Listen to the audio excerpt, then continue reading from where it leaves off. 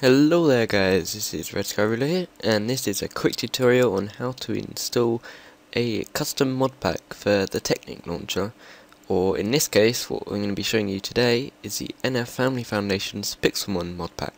So the first thing you're going to do is follow these directions on the website, I'll put this link in the description below. Uh, you're going to click on this link for the Technic launcher pack download and you'll be presented with this page here. Whatever you do, do not click this download at the top. This is a advert, and this is not what you want to click. So what you're going to do is you're going to go to these three here, and you're going to choose what one you want to download. So if you're Windows, download the Windows version. If you're Mac, Mac, and Linux, the Linux version. Once you have it downloaded, all you have to do is simply install it. All you need to do is click no, and that will just automatically set a destination in your roaming folder for where to go. Now, all you need to do is log in using your Minecraft account, which you use for your vanilla Minecraft.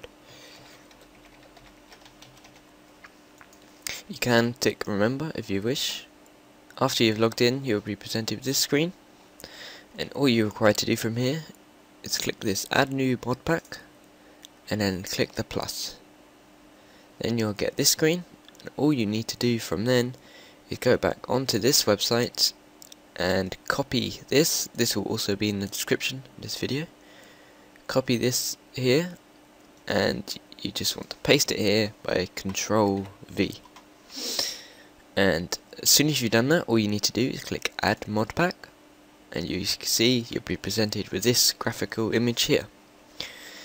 Once you've done so, all you need to do is click play and it will start to download the files that you need.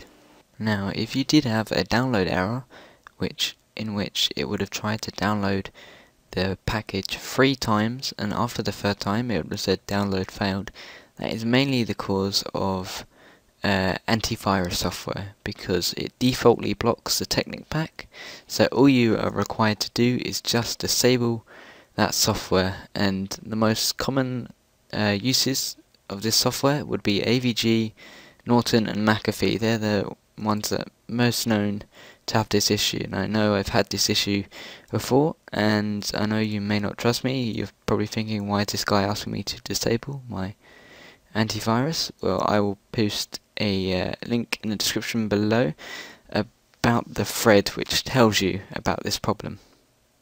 So to connect to the server, all you're going to want to do is hit multiplayer and it should automatically be directly in here. So all you need to do is join this server and that is it. So enjoy Pixelmon. Uh, this has been Red Sky Ruler.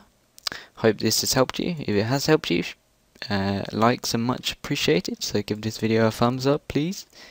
Uh, subscribe for more awesome content like this or post your error or any other help you wish on the forums. Thanks for watching and goodbye.